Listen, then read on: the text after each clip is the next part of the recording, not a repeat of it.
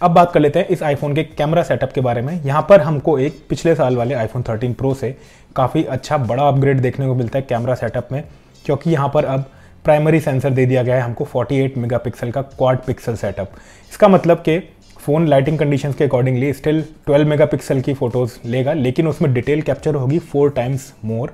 और अगर आपको 48 मेगापिक्सल्स की फ़ोटो चाहिए तो प्रो रॉ फॉर्मेट में आप उसको 48 मेगापिक्सल्स में भी ले सकते हैं, जो कि अपने आप में एक काफ़ी ज़बरदस्त फीचर है और उसको आप फ़ोटो को एडिट कर सकते हैं। उसमें काफ़ी सारी डिटेल्स उसमें डाल सकते हैं कलर ग्रेड कर सकते हैं, जो कि बहुत अच्छा रिज़ल्ट हमको लेकर आएगी। तो प्राइमरी लेंस में प्राइमरी सेंसर में काफ़ी यूनिक काफ़ी अच्छा अपग्रेड देखने को मिल जाता है यहाँ पर।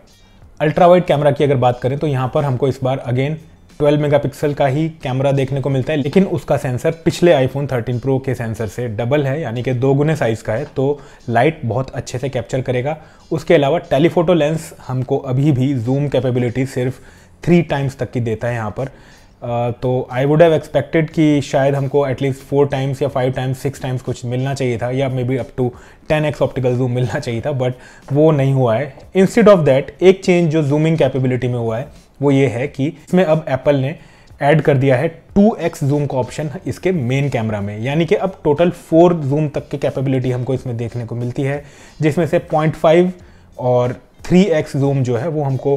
टेलीफोटो लेंस से देखने को मिलता है और जो नॉर्मल 1x और 2x है, वो हमको प्राइमरी जो कैमरा है 48 मेगापिक्सल सेंसर वाला, उसके थ्रू देखने को मिलता है। इसके अलावा एक और जो नया फीचर आया है आईफोन 14 सीरीज़ में, यानी कि 14 सीरीज़ के सभी चारों फोन्स में, वो है इसका फोटोनिक इंजन तो बेसिकली फोटोनिक इंजन जो है वो एक कंप्यूटेशनल फोटोग्राफी की टेक्नोलॉजी है। सो so, एप्पल की जो डीप फ्यूजन टेक्नोलॉजी है फ़ोटोज़ की प्रोसेसिंग के लिए उसको पाइपलाइन में और पहले लेकर आए गए हैं जबकि फ़ोटोज़ के कंप्रेशन होने से पहले ही उसको इम्प्लीमेंट किया जाता है in the pipeline of processing of photos जिससे कि बहुत ज़्यादा इंप्रूव फ़ोटोज़ देखने को मिलती हैं ऐसा एप्पल ने क्लेम किया है इस टेक्नोलॉजी के बारे में। और जो डायनामिक रेंज है इस कंप्यूटेशनल फोटोग्राफी यानी कि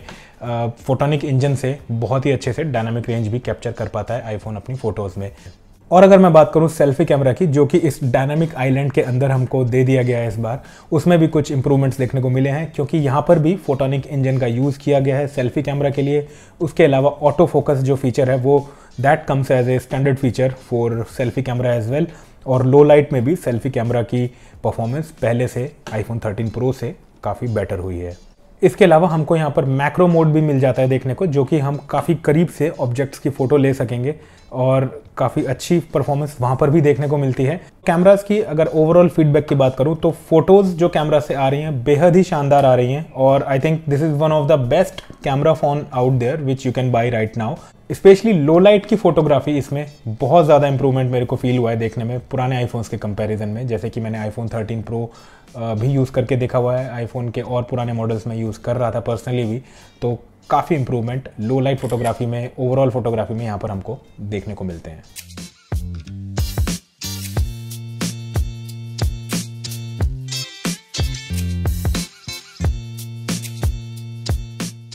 तो फ़ोटोज़ के बारे में बात कर ली हमने इसके कैमरा से तो वीडियोज़ के बारे में बात करने से पीछे कैसे रह सकते हैं? Because this use to be a phone iPhone जो है, ये एक ऐसा फ़ोन है जो कि वीडियोज़ के मामले में अपने कॉम्पिटिटर से हमेशा आगे रहा है, बहुत बहुत आगे रहा है। तो इस बार भी उन्होंने उसको नेक्स्ट लेवल पर लेकर गए हैं वीडियो परफॉर्मेंस को, क्योंकि लास्ट ईयर अगर आपको ध्यान होगा सिनेमैटिक मोड का इंट्रोडक्शन हुआ था, जो कि ओनली फुल एच तक में वीडियो रिकॉर्ड कर पाता था, लेकिन अब सिनेमैटिक मोड के videos 4K up to 30 F में